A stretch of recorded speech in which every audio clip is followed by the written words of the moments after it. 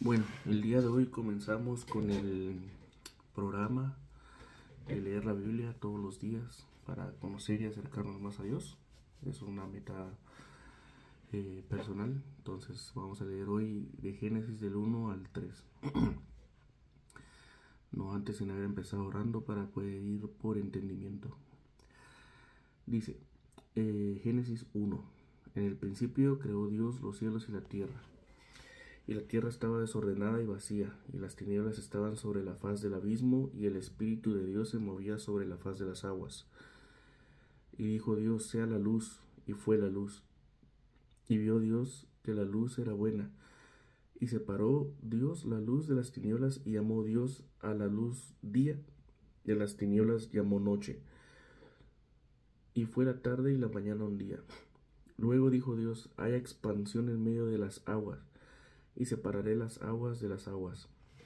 E hizo Dios la expansión y separó las aguas que estaban debajo de la expansión de las aguas que estaban sobre la expansión y fue así. Y llamó Dios a la expansión cielos y fue la tarde y la mañana el día segundo. Dijo también Dios, júntense las aguas que están debajo de los cielos en un lugar, descúbrase lo seco. Y fue así. Y llamó Dios a lo seco tierra, y a la reunión de las aguas llamó mares. Y vio Dios que era bueno. Después dijo Dios, produzca la tierra hierba verde, hierba que dé semilla, árbol que dé fruto, que dé fruto según su género, que su semilla esté en él sobre la tierra. Y fue así. Produjo pues la tierra hierba verde, hierba que da semilla según su naturaleza, y árbol que da fruto, cuya semilla está en él, según su género. Y vio Dios que era bueno. Y fue la tarde y la mañana el día tercero. Versículo 14. Dijo luego Dios, haya lumbreras en la expansión de los cielos para separar el día de la noche y sirvan de señales para las estaciones, para días y años, y sean por lumbreras en la expansión de los cielos para alumbrar sobre la tierra, y fue así. E hizo Dios las dos grandes lumbreras, la lumbrera mayor para que señorease el día y la lumbrera menor para que señorease la noche hizo también las estrellas, o sea, el sol y la luna. Y las puso Dios en la expansión de los cielos para alumbrar sobre la tierra y para señorear en el día y la noche y para separar la luz de las tinieblas. Y vio Dios que era bueno. Y fue la tarde y la mañana el día cuatro. Dijo Dios, produzcan las aguas seres vivientes y aves que vuelen sobre la tierra y en la expansión de los cielos. Y creó Dios los grandes monstruos marinos y todo ser viviente que se mueve, que las aguas produjeron según su género, y toda ave alada según su especie. Y vio Dios que era bueno, y Dios los bendijo diciendo, fructificad y multiplicaos, y llenad las aguas y los mares, y multiplíquense las aves en la tierra. Y fue la tarde y la mañana del día quinto. Luego dijo Dios, produzca la tierra seres vivientes según su género, bestias y serpientes y animales de la, de la tierra según su especie. Y fue así. E hizo Dios animales de la tierra según su género y ganado según su género, y todo animal que se arrastre sobre la tierra según su especie. Y vio Dios que era bueno. Entonces dijo Dios, hagamos al hombre a nuestra imagen, conforme a nuestra semejanza, y señoree en los peces, del mar, en las aves de los cielos, en las bestias, en toda la tierra, y en todo animal que se arrastra sobre la tierra. Y creó Dios al hombre a su imagen, a imagen de Dios lo creó. Varón y hembra los creó. Versículo 27. Y creó Dios al hombre a su imagen, a imagen de Dios lo creó, varón y hembra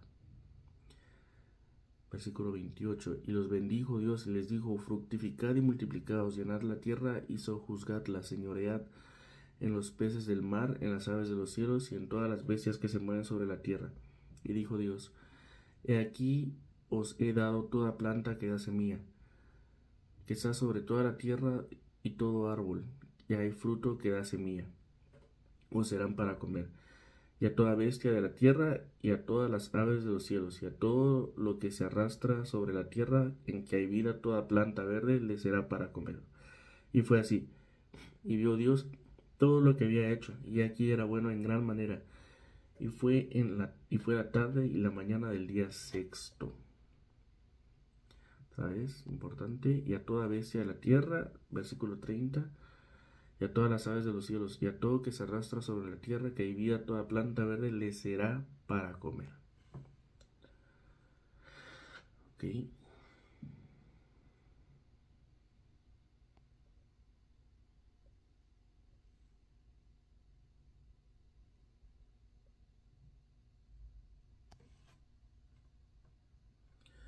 Génesis 2, versículo 1. Fueron pues acabados los cielos y la tierra y todo el ejército de ellos. Y acabó Dios en el día séptimo la obra que hizo. Y reposó el día séptimo de toda la obra que hizo y bendijo Dios al día séptimo y lo santificó porque en él reposó de toda la obra que había hecho en la creación. Estos son los orígenes de los cielos y de la tierra, cuando fueron creados, el día que Jehová Dios hizo la tierra y los cielos, y toda planta del campo antes que fuese en la tierra, y toda hierba del campo antes que naciese, porque Jehová Dios aún no había hecho llover sobre la tierra, ni había hombre para que labrase la tierra, sino que subía de la tierra un vapor, el cual regaba toda la faz de la tierra. Entonces Jehová Dios formó al hombre del polvo de la tierra y sopló en su nariz aliento de vida, y fue el hombre un ser viviente versículo 8. Y Jehová Dios plantó un huerto en Edén al oriente y puso ahí al hombre que había formado. Y Jehová Dios hizo nacer de la tierra todo árbol delicioso a la vista y bueno para comer, también el árbol de la vida en medio del huerto y el, y el árbol de la ciencia del bien y el mal. Y salía del Edén un río para regar el huerto, y de ahí se repartía en cuatro brazos el nombre del uno era Pisón. Ese era el que rodeaba toda la tierra de Ávila, donde hay oro. Y el oro de aquella tierra es bueno. Hay allí también bedelio y onice. El nombre del segundo río es Gijón. Ese es el que rodea toda la tierra de Cus. Y el nombre del tercer río es Hidekel. Ese es el que va al oriente de Asiria. Y el cuarto río es el Éufrates.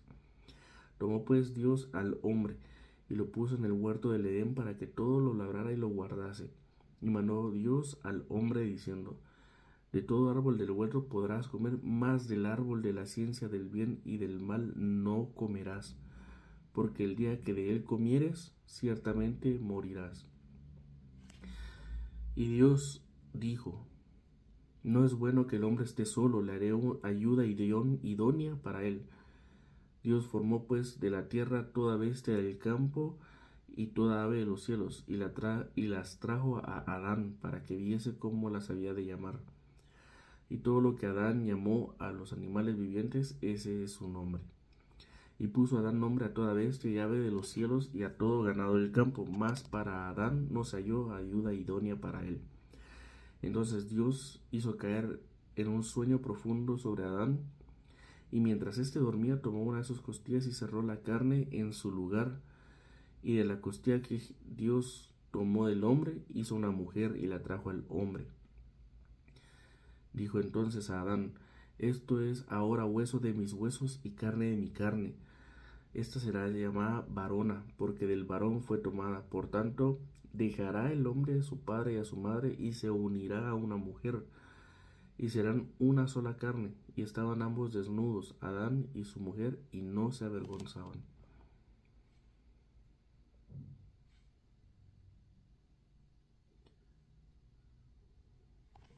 Capítulo 3, Génesis 3. Pero la serpiente era astuta, más que todos los animales del campo que Dios había hecho, la cual dijo a la mujer, con que Dios os ha dicho, no comáis de todo el árbol del huerto, y la mujer respondió a la serpiente, del fruto de los árboles del huerto podemos comer, pero del fruto del árbol que está en medio del huerto, dijo Dios, no comeréis de él ni lo tocaréis para que no muráis. Entonces la serpiente dijo a la mujer, no moriréis, sino que sabe Dios que el día que comáis de él serán abiertos vuestros ojos y seréis como Dios sabiendo el bien y el mal.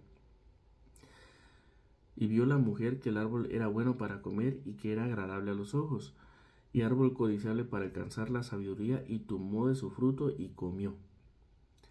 Y dio también a su marido, el cual así comió con ella. Entonces fueron abiertos los ojos de ambos y conocieron que estaban desnudos. Entonces cosieron hojas de higuera y se hicieron delantales. Y oyeron la voz de Jehová que se paseaba en el huerto al aire del día. Y el hombre y su mujer se escondieron de la presencia de Dios entre los árboles del huerto. Mas Dios llamó al hombre y le dijo, ¿Dónde estás tú? Y él le respondió, Oí tu voz en el huerto y tuve miedo porque estaba desnudo y me escondí.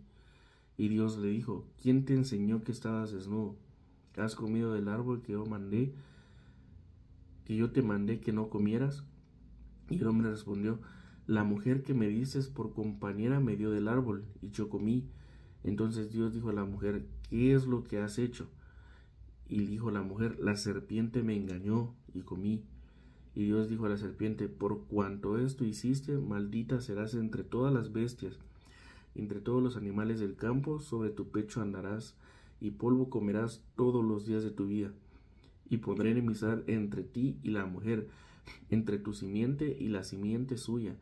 Esa te herirá en la cabeza y tú le herirás en el calcañar.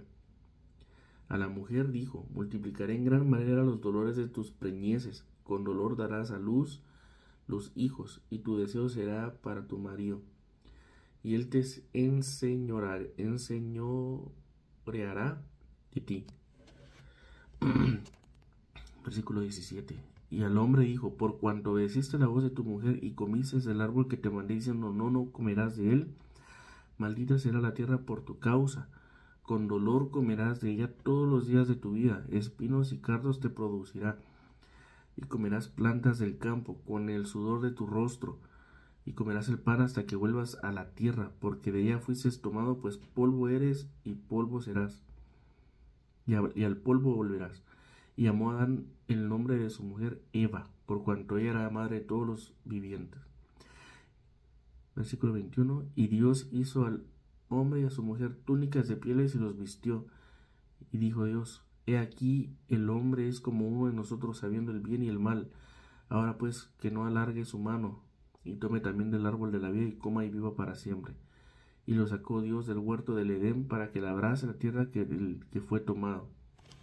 Echó pues fuera al hombre y puso al oriente del huerto del Edén querubines y una espada encendida que se revolvía por todos los lados para guardar el camino del árbol de la vida.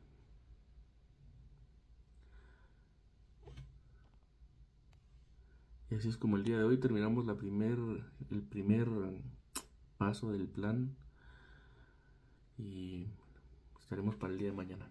Adiós.